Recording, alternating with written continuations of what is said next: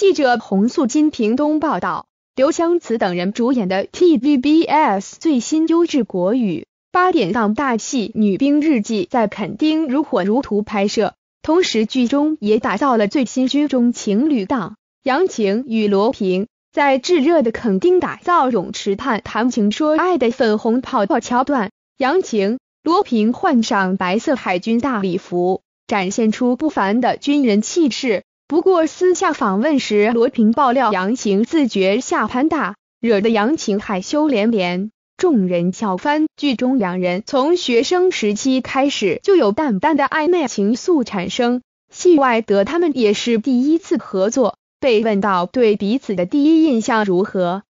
杨晴首先开炮说罗平在开拍前是白浩克，更加码形容是油脂跟肌肉的混合体，整个很大一只。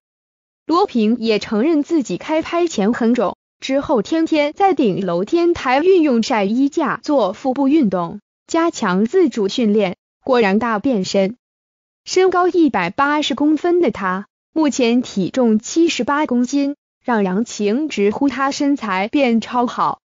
另一方面，罗平觉得杨晴身材不错，不过杨晴则对自己的下盘不太满意，自曝吃两个便当才饱。不过罗平安慰，是女艺人要求太严格啦。而拍摄《女兵日记》最难克服的是，杨晴说喊口令是她的罩门，因她一开始声音力道都不够大，面对一百多人的场面。后排的兵根本听不到她的声音，杨晴因无法标准念出口令，害大家一起陪她在户外曝晒而觉得沮丧。隔天马上拉住罗平找营区副营长协助训练，让声音整整回荡在一百五十公尺远的树林中。也因为有得当训练，导致杨晴现在中气十足，讲话都会不自觉越讲越大声。两人在剧组是真真实实经历了扎实的军中训练。罗平笑说：“这辈子没想过会再当一次兵。”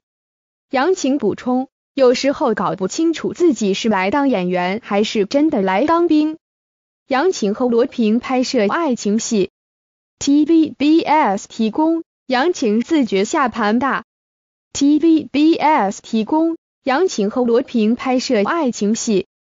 TVBS 提供。